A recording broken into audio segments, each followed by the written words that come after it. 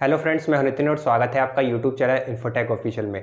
आज की डेट में अगर आपको किसी भी सरकारी योजना का पैसा डायरेक्ट अपने बैंक अकाउंट में लेना है तो उसके लिए आपके आधार एन के साथ आपका बैंक अकाउंट लिंक होना चाहिए। अगर आपके आधार एन के साथ आपका बैंक अकाउंट लिंक नहीं होता है तो उसकी वजह से जो भी सरकारी योजनाओं के अंतर्गत आपको पैसा या लाभ दिया जाता है, वो आपके बैंक अकाउंट तक नहीं पहुँच पाता है। तो यहाँ पर सबसे पहले आप सभी के लिए ये जान लेना बहुत ही ज़रूरी है कि आखिर ये आधार NPCI या फिर NPCI होता क्या है? तो देखिए एनपीसीआई की फुल फॉर्म है national payment corporation of India जिसके ज़रिए जो सरकार है अलग अलग योजनाओं के माध्यम से आपके बैंक अकाउंट में डायरेक्ट बेनिफिट ट्रांसफ़र के थ्रू कुछ पैसे ट्रांसफ़र करती है। योजनाओं के अंतर्गत अलग अलग तरीके से आपको लाभ दिया जाता है। अब यहाँ पे काफ़ी सारे लोग ऐसे होते हैं जिनके आधार एनपीसीआई के साथ उनका बैंक अकाउंट लिंक होता है, लेकिन काफ़ी सारे लोग ऐसे भी हैं जिनके आधार एनपीसीआई के साथ उनका बैंक अकाउंट लिंक नहीं होता है। तो आज की इस वीडियो में मैं आपको बताने वाला हूँ कि किस तरीके से आप चेक कर सकते हैं कि आपके आधार एनपीसीआई के साथ आपका बैंक अकाउंट लिंक है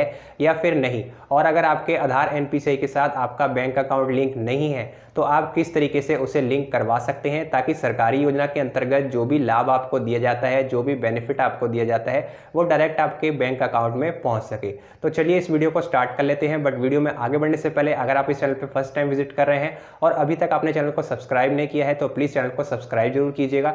साथ ही नोटिफिकेशन बेलाइकन को भी ऑल पे दबा के सेट कर दीजिए ताकि जो भी वीडियो आने वाली हो, उन सभी के नोटिफिकेशन सबसे पहले आप तक पहुँच सके।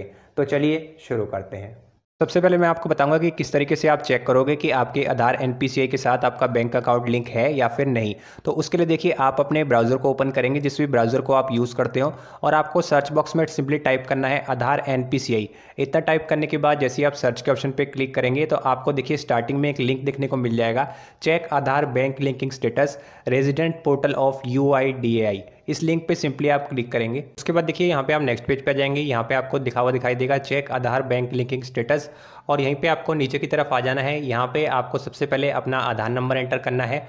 और आधार नंबर के साथ साथ ये जो कैप्चा कोड दिया गया है, ये कैप्चा कोड एंटर करके सेंड ओटीपी के ऑप्शन पे आप क्लिक करेंगे। उसके बाद आपके आधार कार्ड के साथ जो भी मोबाइल नंबर लिंक होगा, उस पर एक ओटीपी आएगा। ओटीपी आप एंटर करेंगे और यहाँ पे सबमिट करेंगे। उसके बाद देखिए यहाँ पे आपको आपका आधार और बैंक लिंकिंग स्टेटस देखने को मिल जाएगा। आपको यहाँ पे आपका आधार नंबर देखने को मिलेगा और आपका बैंक लिंकिंग स्टेटस एक्टिव है या फिर एक्टिव नहीं है, वो यहाँ पे आपको देखने को मिल जाएगा।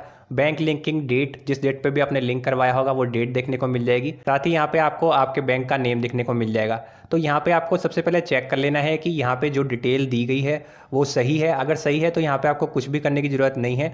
आप अगर इसी बैंक में अपने सरकारी योजनाओं का पैसा लेना चाहते हैं तो आपको यहाँ पे कुछ भी छेड़छाड़ करने की ज़रूरत नहीं है। देखिए, अगर यहाँ पे जो बैंक अकाउंट दिया गया है, आप उसमें सरकारी योजना का पैसा ना लेकर किसी अन्य अपने बैंक अकाउंट में लेना चाहते हैं तो उसके लिए आप क्या करेंगे? उसके लिए देखिए, वापस से आपको यहाँ पे आ जाना है। यहाँ पे आने के बाद देखिए, पहले आपने फ़र्स्ट नंबर पे लिंक पे क्लिक किया था। अब यहाँ पे आपको सेकंड नंबर पे लिखा दिखाई देगा कस्टमर एनपीसीआई इस पर आप क्लिक करेंगे। जैसे आप क्लिक करेंगे, आप एनपीसीआई के पोर्टल पे आ जाएँगे। यहाँ पे आपको बिल्कुल लास्ट में आ जाना है। लास्ट में देखिए, आपको एक ऑप्शन दिखाई देगा आधार सीडिंग प्रोसेस इसके लिए यहाँ पे आपको प्लस का बटन मिलेगा, इस पर क्लिक करेंगे। क्लिक करने के बाद क्लिक हेयर टू व्यू के ऑप्शन पे क्लिक करेंगे। देखिए, यहाँ पे आपके सामने पेज नंबर थ्री पे आपको आ जाना है और यहाँ पे एक एप्लीकेशन फॉर्म आपके सामने आ जाता है, जिसमें आप लिखा देख सकते हैं application for linking seeding Aadhaar number and receiving DBT benefit into bank account NPCI mapping यानी कि अगर आपके बैंक अकाउंट के साथ आपका एनपीसीआई आधार लिंक नहीं है तो यहाँ पे इस फॉर्म की मदद से आप सक्सेसफुली अपने बैंक अकाउंट को आधार एनपीसीआई के साथ लिंक कर सकते हैं। तो यहाँ पे देखिए, सबसे पहले आपको अपनी ब्रांच का नेम एंटर करना है, अपना अकाउंट नंबर एंटर करेंगे, अपना नेम यहाँ पे आप एंटर करेंगे। उसके बाद अगर आप सिग्नेचर करते हैं तो यहाँ पे अपने सिग्नेचर करेंगे। अगर आप थम लगाते हैं तो यहाँ पे अपना थम लगाएँगे। उसके बाद यहाँ पे आप नीचे की तरफ़ आएँगे, जहाँ पे आपको अपना name, mobile number, email ID यहाँ पे एंटर कर देना है। और उसके बाद आपको इस फॉर्म के साथ में अपने आधार कार्ड की एक कॉपी अटैच करनी है। इतना करने के बाद यहाँ पे आपको सिग्नेचर करने हैं और इस फॉर्म को आधार कार्ड की कॉपी के साथ अपनी ब्रांच में जमा करा देना है। जब आप ये फॉर्म अपने बैंक में जमा कर देंगे तो जैसे ही वेरीफाई होगा, उसके बाद सक्सेसफुली आपका आधार एन बैंक अकाउंट के साथ लिंक कर दिया जाएगा। और उसके बाद जो भी सरकारी योजनाओं का बेनिफिट होगा, वो आसानी से आप अपने बैंक अकाउंट में ले सकेंगे। तो फ्रेंड्स उम्मीद है आप सभी को ये वीडियो पसंद आई होगी। वीडियो को लाइक कीजिए शेयर कीजिए। साथ ही कोई डाउट क्वेश्चन या सजेशन है तो कमेंट बॉक्स में जाकर ज़रूर लिखिएगा।